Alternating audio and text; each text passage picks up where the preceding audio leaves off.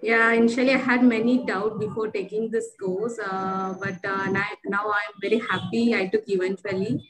The skills I have got from this uh, course will help to develop my career, right?